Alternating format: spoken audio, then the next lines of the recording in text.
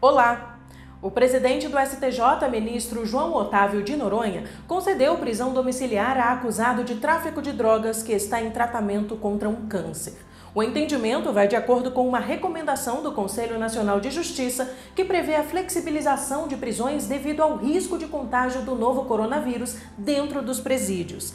Para o ministro, a mudança de regime é uma medida preventiva, uma vez que, por causa do câncer, o risco do acusado desenvolver uma forma mais grave da Covid-19 é maior. E ainda falando sobre o novo coronavírus, o Tribunal de Justiça do Maranhão determinou à Prefeitura de São Luís uma série de medidas para auxiliar as empresas de transporte público do município que tiveram uma baixa considerável de passageiros durante a pandemia. Dentre elas, o repasse diário de 277 mil reais. Mas o ministro João Otávio de Noronha suspendeu essa decisão por considerar que a liminar do Tribunal Maranhense causou lesão à ordem pública. Em outra decisão, dessa vez da terceira turma, os ministros condenaram um plano de saúde a pagar procedimento de congelamento dos óvulos de uma paciente até o fim da quimioterapia.